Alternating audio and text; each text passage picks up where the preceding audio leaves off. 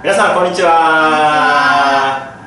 えー、今日も戸村さんとコラボ動画です。よろしくお願いします。えー、今日は、えー、うちの、えおすすめのアマボートがあってっていうのは、え大島を撥水加工してアマボートに仕立てるというのをおすすめしてるんですけど、え誰か着てる人でちょうどモデルやってくれないかなと思ったらそうだ戸村さんの作ったわ。はい私に作っていただきました。はいで今日持ってきてもらったので、はい、まあ、雨ごと姿を見ていただくんですが、まあ、せっかくなのでトータルのコーディネート今日のコーディネートを紹介してもらおうかなと思っております、はい、はい、じゃあ着物からいきます。着物からいきますかね。着物は、はい、これは爽やかちりめん。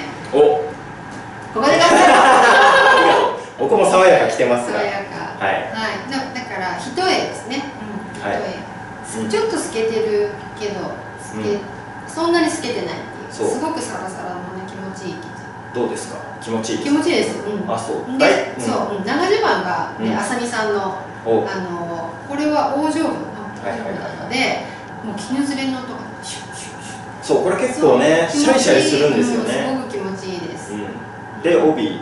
帯は本田屋さんの帯です。夏帯、はい、名古屋帯ですね、はい。で帯揚げはロチリネです。うん、あの半襟ももちろん。そうですね。そうですね。あの帯え違う帯揚げと半襟はあのセットで、うん、うん、シーズン変える時もセットでロにな片方がロになったら片方がロです。うん、ね。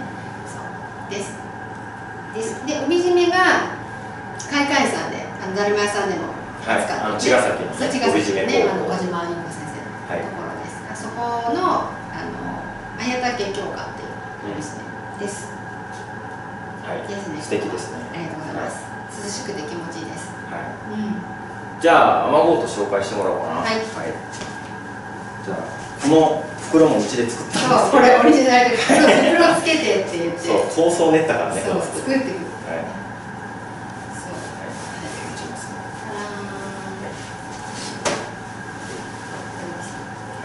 来ますか？来ますみません。すぐにすみません。あありがとうございますなん。かこん。なことしてもらうのなん。かなれないいつもしてますよ。いやいやいやしていただいたことないです。あ、そうですか。すみません。じゃあ今後はするように。なん。かすごい人に着せてもらうとたもとがすごい残ってしまうん。ですけど。ね自分で着るときはねたもとを持ってあの肘から入れるようにすると、うん、あのここだもしてであのこ最近老眼で。このボタンが見えない。そう。でここに紐が2本ついています、はい、この紐の位置もね。そうすごい考えましたね、ね、そう。そうすごい考え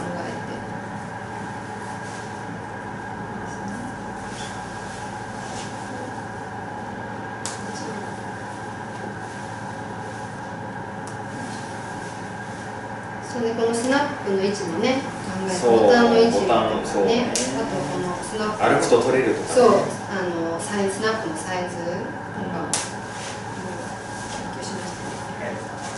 はい、あ、いいんじゃないですか。はい、ちょっと後ろとかも見てみます。ト村さん、そう、着方がね、結構長いですよね。そうですね、床すれすれぐらいに。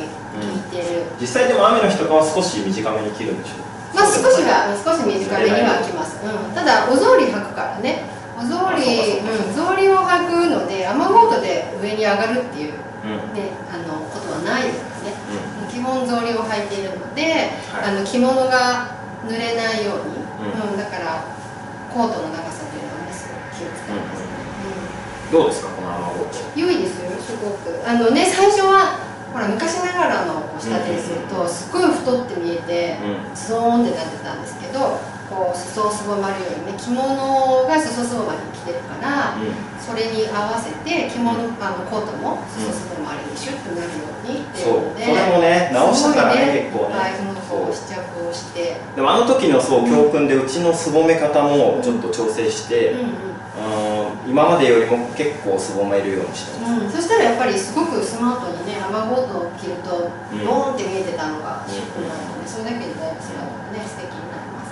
はい、昔の雨ゴートってね西陣で赤いそう赤いね。そう作ってたんですよ。あれしかなくて。リサイクルで買いました。そう。あれはちょっとねこう今あんまり良くないじゃないですか、うん、大島で作ると柄も選色もね、選べるし、まあ、お持ちの着物の色合いと合わせて選べるので、まあ、結構ね評判良くて、ねね、これずっと定番なんですけどね、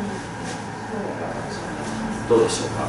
これから梅雨になるんであ梅雨の時じゃなくてもいいんですけどね、はい、ぜひ興味ある方はお問い合わせお気軽にお願いします。はい、はい、お気軽に。ということで、友田さん、はい、ありがとうございました。はい、ありがとうございました。バイバイ。バイバイ。はい、あざす。いや、いいんじゃないですか？いいんじゃないですか、これ。